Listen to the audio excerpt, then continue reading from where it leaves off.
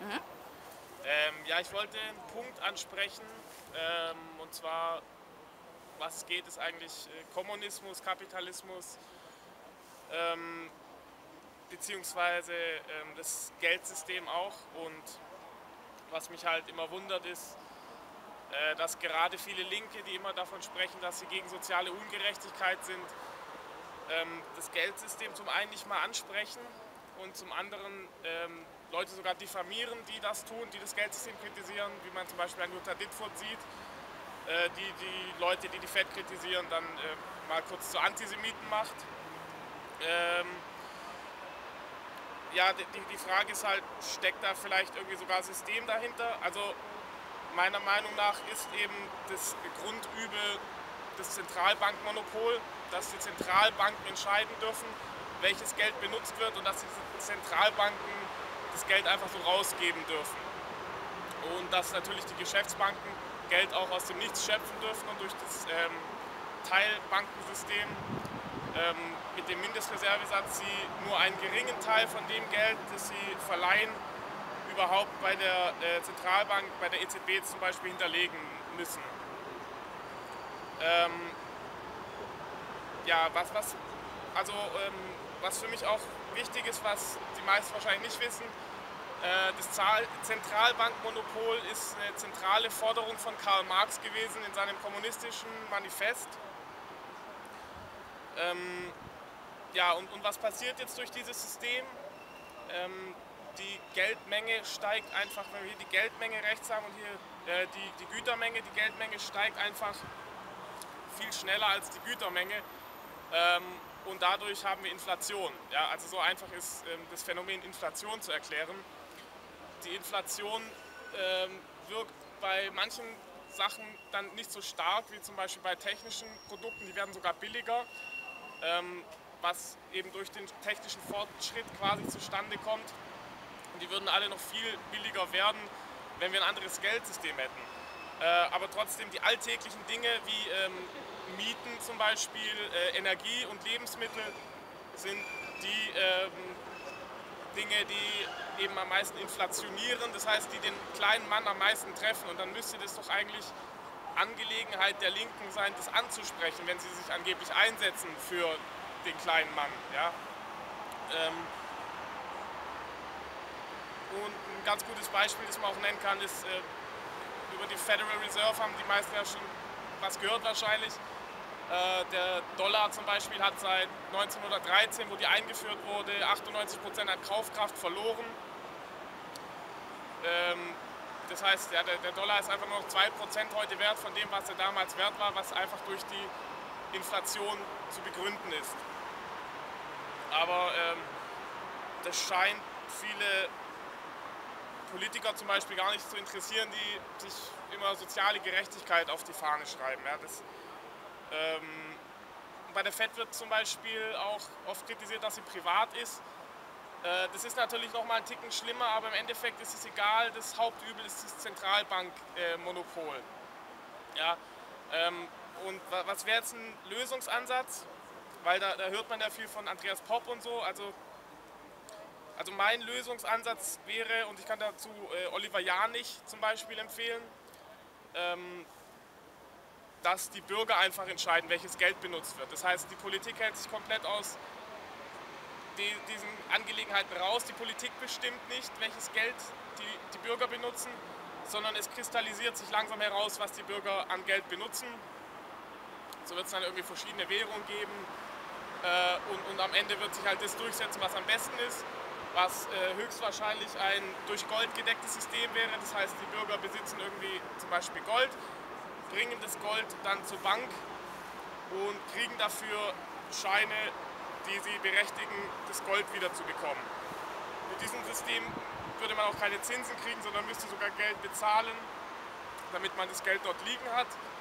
Ähm, dieses Gold könnte man dann aber weiter verleihen und dafür könnte es dann auch Zinsen und Zinseszins geben, weil die meisten Leute oft den Zinseszins kritisieren, aber der Zinseszins wird ja erst zum Problem dadurch, dass die Banken immer aufgefangen werden.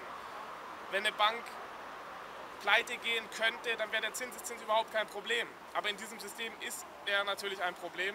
und wird auch noch ein Problem werden, wie wir jetzt wahrscheinlich die nächsten Jahre sehen werden. Ich weiß nicht, wie es weitergeht mit dem Geldsystem, aber es sieht nicht rosig aus, die Zukunft.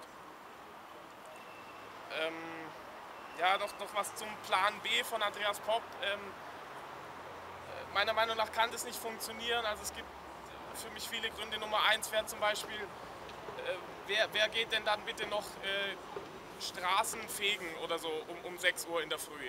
Ähm, oder Klos putzen oder es. Ja, also zum, zum einen das und zum anderen, ähm, wie, wie, will er das bezahlen? Also wo, wo soll dieses Geld herkommen, das er den Leuten geben will? Also, weil du kannst ja, so, entweder du machst auch ein Fiat-Money-System, das heißt, ähm, du, du druckst das Geld einfach und gibst es den Leuten. Das wird aber früher oder später auch zum Chaos führen, weil äh, das wird wieder Inflation geben, die Leute werden wieder nicht leben können von ihrem Geld. Äh, da wird, wird, das, wird auch, das wird zum Zusammenbruch führen müssen. Oder du begründest es so, du, du nimmst es aus dem Steuertopf, den du jetzt schon im Moment hast. Äh, das wird aber dazu führen, dass die meisten Leute sich sagen, ey, ich bin doch nicht bescheuert, äh, ich gehe doch nicht arbeiten und ein anderer bekommt 1000 Euro im Monat fürs Nichtstun. Das, also das, das kann nicht funktionieren. Ja. Ich hoffe, dass es ähm, da mal irgendwie zur Debatte kommt zwischen zum Beispiel Oliver Janich und äh, den Leuten, die den Plan B vertreten, also jetzt Rico Albrecht und äh, Andreas Popp. Ähm, ja, also ich, ich finde jetzt diese Geldsystem-Thematik, die ist auch nicht so schwer zu verstehen.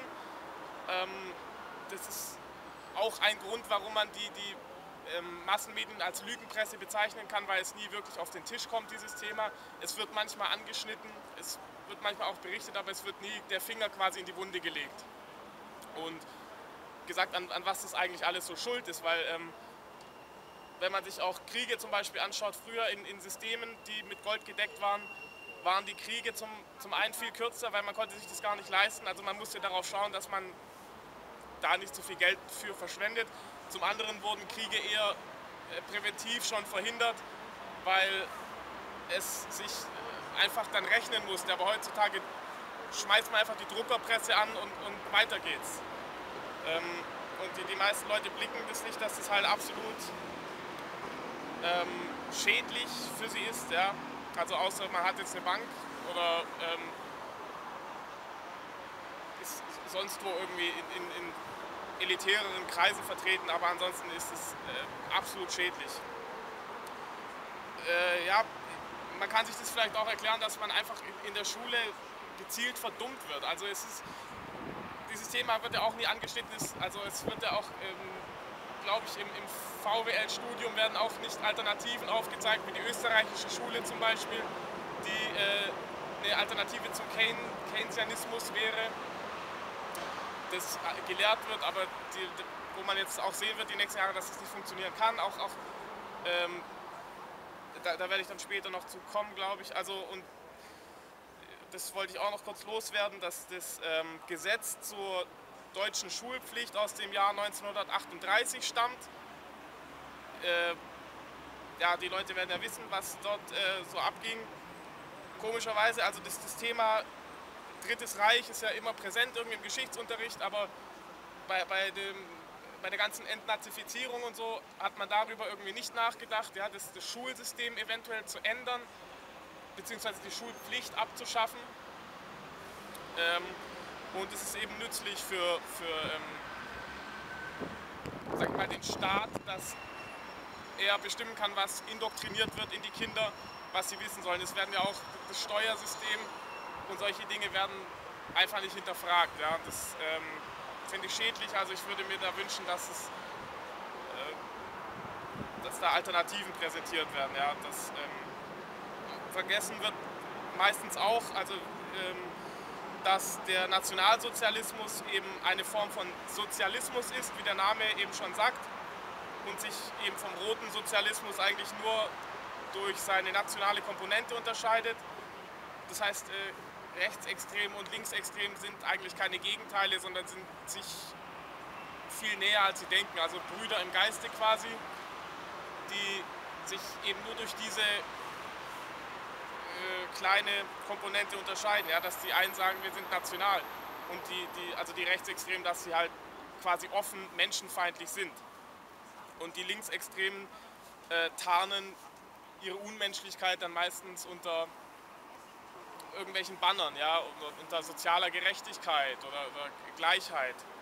Ähm, und ja, manche von euch werden vielleicht Orwell gelesen haben und der, der hat es ja auch schon genannt, dieses Neusprech und Doppeldenk.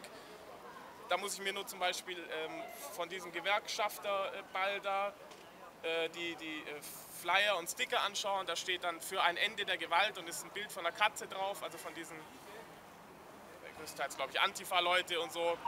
Ja, und, und dann wird es präsentiert unter dem Banner der Gewaltfreiheit und, und ist ein süßes Bild von der Katze drauf und dann gehen die halt da durch die Straßen und schmeißen Steine rum und, und in irgendwelche ähm, äh, Geschäfte.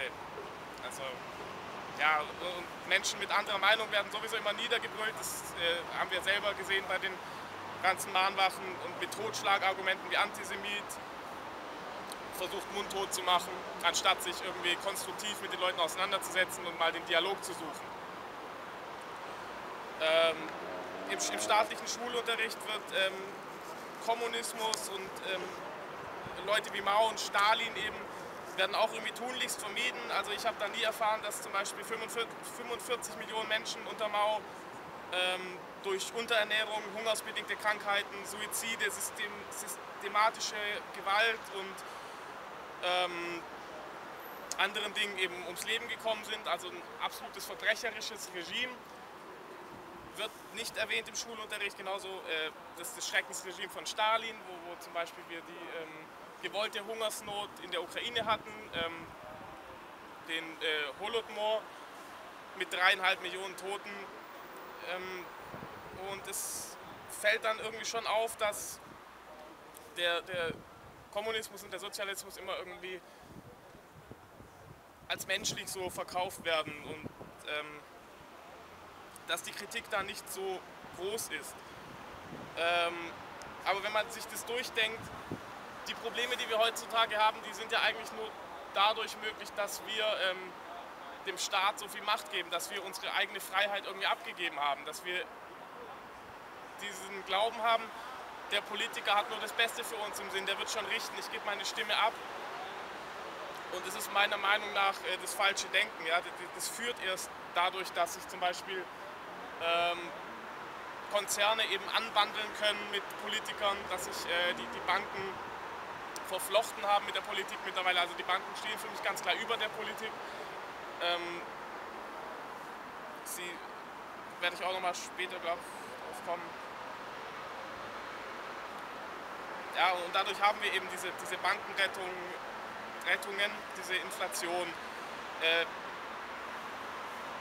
Beschneidung der äh, Freiheitsrechte der Bürger, mehr staatliche Zwangsbildung, mehr Überwachung etc. Und ähm, für mich folgt daraus eben, dass äh, also die, die Regierungen, die wir da jetzt überall haben, äh, für mich äh, ist es kein Modell der Zukunft. Also, ähm, aber ganz klar muss man dazu auch sagen, äh, alle Regierungen sind so. Ja? Äh, und da gehört auch äh, die Regierung eines Herrn Putins dazu, ja? wo, wo oft in den Mahnwachen oder in den alternativen Medien äh, gesagt wird, dass jetzt äh, Putin wird für mich oft so hingestellt wie ein, wie ein, wie ein guter König oder so. und das ist er natürlich nicht, weil der war Chef äh, des russischen Geheimdienstes, FSB, äh, war da vorher schon beim, beim äh, KGB. also der ist das ganz sicher alles nur jetzt kein Menschenfreund, der das Beste für uns im Sinn hat, weil für mich ist auch relativ offensichtlich, dass der russische Geheimdienst Akten haben müsste über 9-11 beziehungsweise der Putin spielt ja genauso dieses Fiat-Money-System mit, das schuld ist an diesen vielen Kriegen, an, an der Enteignung der Bürger, Enteignung der Bürger, die wir auch äh, in, in größerem Maße wahrscheinlich leider noch sehen werden. Und er ist halt eben auch nur ein Spieler in diesem Big Game quasi.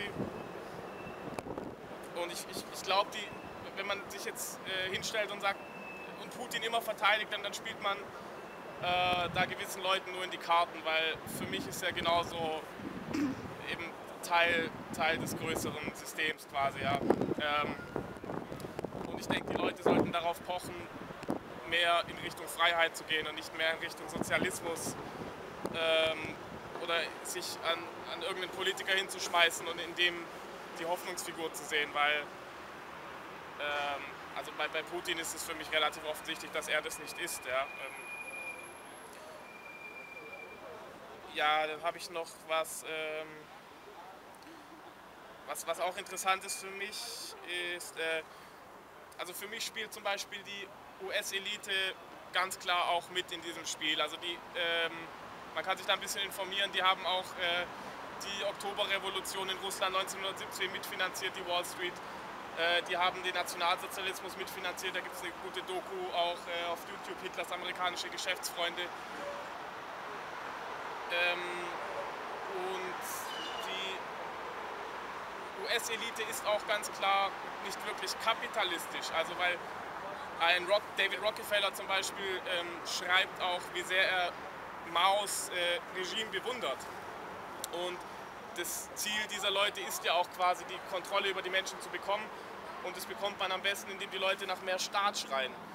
Und durch mehr Zentralisierung. Also wenn, du, wenn man dieses Gebilde EU zum Beispiel schon mal hat, dann ist es viel einfacher, die Leute zu unterwerfen, weil du, du, du kannst von oben einfach die Befehle runtergeben. Und für mich der Weg wäre Dezentralisierung, also so viele Sezessionen zum Beispiel wie möglich. Also wenn sich viele, wir, wir haben ja Sezessionsbewegungen in, in, Schottland jetzt zum Beispiel, hat ja leider nicht geklappt, in, in, in äh, die Basken zum Beispiel, die Katalanen, äh, in, Belgien die äh, Flandern heißen sie, glaube ich. Ähm, und ich hoffe, dass in die Richtung was geht. Oder, oder zum Beispiel jetzt ein Austritt Österreichs aus der EU wäre sehr wichtig. Ähm, das ist, glaube ich, der Weg, den man gehen muss, mehr, mehr Frei, Freiheit, mehr Eigenverantwortung. Und da, da gibt es äh, Bücher dazu. Ich kann zum Beispiel Oliver Janich, Vereinigte Staaten von Europa, empfehlen. Ähm, und da, viel, was ich jetzt auch erzählt habe, ist quasi auch aus diesem Buch. Ähm, und der, ähm, ja, und, und, so spielt man diesen Leuten eben nicht in die Karten, würde ich sagen. Äh, ich habe da noch ein schönes Zitat, das von einem US-Abgeordneten, der war ein Libertärer, der ist durch einen Flugzeugabsturz ums Leben gekommen, als er nach Südkorea gereist ist. Das war, glaube ich, im Jahr 1984 oder so. Ähm, und von einem sowjetischen Abfänger wurde das Flugzeug eben abgeschossen. Und der hat geschrieben über die Rockefellers, der Antrieb der Rockefellers und ihrer Verbündeten liegt darin, eine Einweltregierung zu bilden welche sowohl den Superkapitalismus als auch den Kommunismus unter demselben Dach vereint, nämlich allesamt unter ihrer Kontrolle. Spreche ich von Verschwörung? Ja, das tue ich. Ich bin überzeugt, dass es einen solchen Plan gibt, auf internationaler Ebene, vor vielen Generationen schon geplant und unbeschreiblich böse in der Absicht. Äh, Lawrence Patton McDonald heißt der, könnt ihr euch ja mal anschauen. Äh, das Buch kann ich nur wärmstens empfehlen.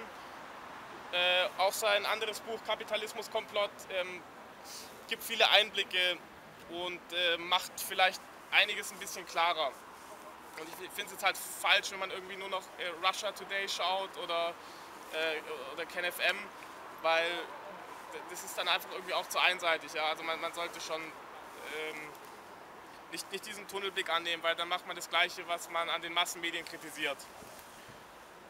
Äh, ich Gut, da habe ich noch ein Zitat von Lenin, das man sich vielleicht anschauen sollte. Also ähm, der Lenin hat geschrieben, der Weg, die Bourgeoisie, also den Mittelstand zu vernichten, ist, sie zwischen den Mühlsteinen von Besteuerung und Inflation zu zermahlen. Also da sieht man ganz klar, was der kommunistische Plan ist.